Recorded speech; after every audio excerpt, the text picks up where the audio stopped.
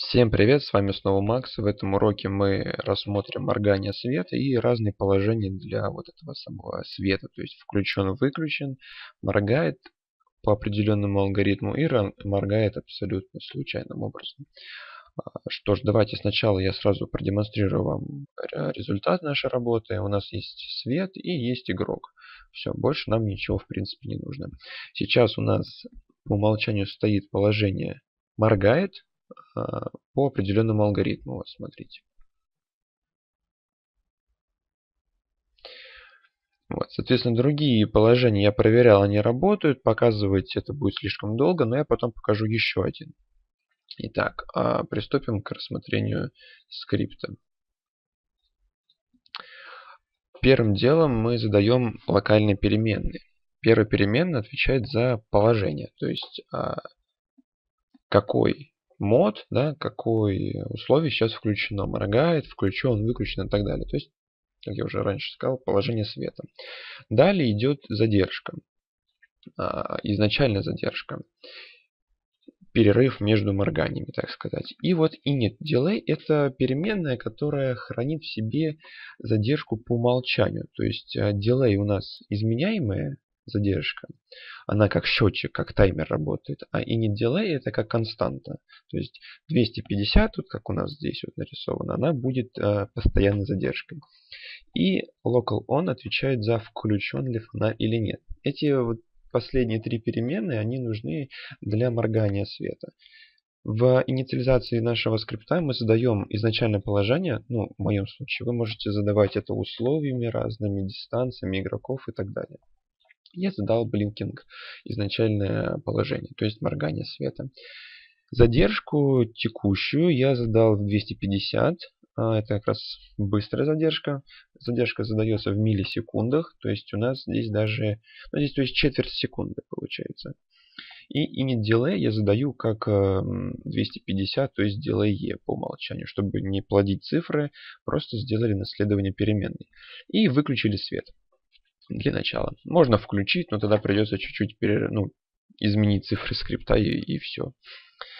А, далее в основной функции мы сделали как? Мы берем условия на положение.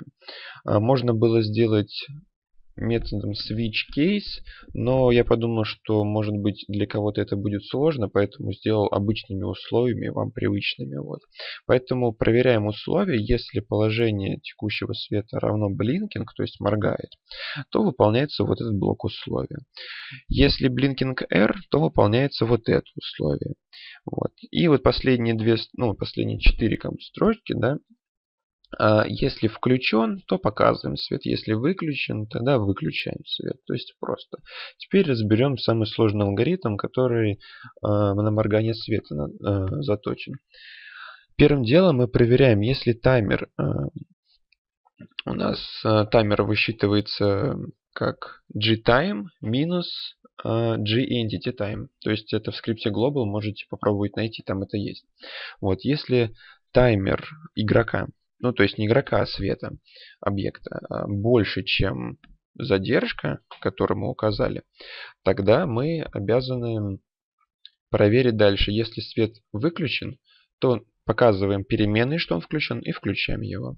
Аналогично делаем, если свет выключен. И, соответственно, делаем задержку. Данная функция работает таким образом, что он берет текущее время, которое было засечено, и плюс вот а, в данном случае ну, стандартную задержку 250, которую мы здесь установили. И вот это самый период называемый, который он считает. И видите, у нас в начале условия было, если э, текущий таймер, который мы получили, больше, чем вот задержка в 250 а, миллисекунд. Тогда выполняется действие. Эту строчку я закомментировал. Ее можно удалить, в принципе, потому что она реализована в Blinking R. Blinking R это полный рандом. Ну, относительно полный на самом деле. То есть здесь все то же самое, как вы видите, но вот только вот здесь строчка поменялась а, вот в сравнении с этой. Видите, у нас поменялись только вот плюсовые значения. Здесь мы брали период в 250 миллисекунд, а здесь мы берем рандом от 100 миллисекунд до полторы секунды. Соответственно, можно взять больше период от единицы там, до полторы, но сами настраивайте, как вам будет удобно. Вот. И сейчас я вам покажу, собственно, как работает Blinking R а, с случайной задержкой во времени от 100 миллисекунд до полторы секунды. А, по сути, должен просто моргать с разной скоростью.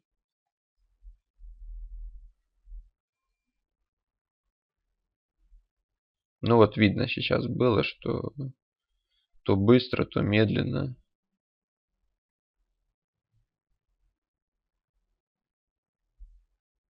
Вот. Но это, конечно, такое условие было обычное, от 100 до 1500, там значений много. А можно устанавливать там от 500 до 1000, и это будет уже интереснее смотреть. Вот, в принципе, на этом все. Всем спасибо за внимание. С вами был Макс. Подписывайтесь на мой канал в YouTube. Подписывайтесь на группу ВКонтакте обязательно. Нам очень там интересно, очень весело. Очень хорошие ребята, аудитория приятная. Очень много интересных обсуждений. Поэтому обязательно ставьте лайк и обязательно подписку. Всем спасибо за внимание.